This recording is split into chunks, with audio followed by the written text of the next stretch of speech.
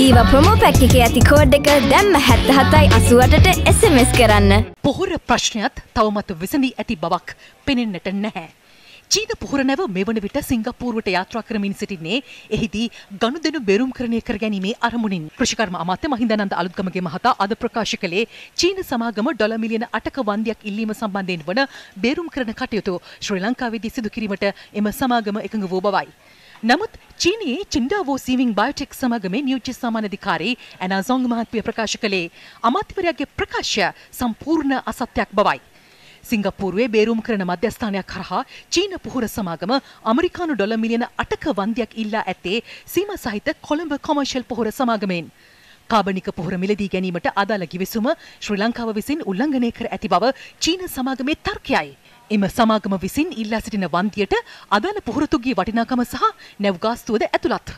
බේරුම් කරන ක්‍රියාවලිය සඳහා වැයවන සියලු ගාස්තුද ශ්‍රී ලංකාවෙන් අයකර ගැනීමට සිදුවන බව චීන සමාගම පවසනවා. අදාළ ඩොලර් මිලියන 8ක වන්දියට පොලියක්ද ඇතුළත්. මේ සම්බන්ධයෙන් අප කළ විමසීමකදී කෘෂිකර්ම අමාත්‍ය මහින්දානන්ද අලුත්ගමගේ මහතා පැවසුවේ චීන සමාගම මෙරට තැන්පත් කර ඇති ඩොලර් මිලියන 5ක මුදල ඩොලර් මිලියන 8ක් දක්වා වැඩි කිරීමටත් අනතුරුව ණයවර ලිපියේ සඳහන් මුදල චීන සමාගමට ගෙවීමටත් නීතිපතිවරයා ඉදිරියේ දෙපාර්ශවය එකඟ වූ බවයි.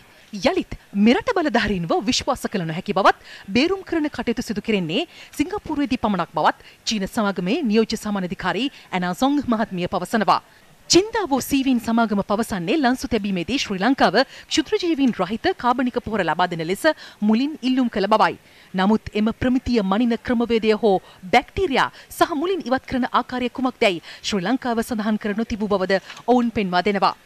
චීන සමාගම පවසන්නේ පසුගිය සැප්තැම්බර් 12 සහ 14 යන දෙදිනම බැක්ටීරියා රහිත පොහොර ලබා දිය නොහැකි බවට තමන් ශ්‍රී ලංකාවට දැනුම් දුන් අතර හානි කර නොවන ක්ෂුද්‍රජීවීන් සිටිය හැකි බවට එකඟත්වයකට පැමිණි බවයි.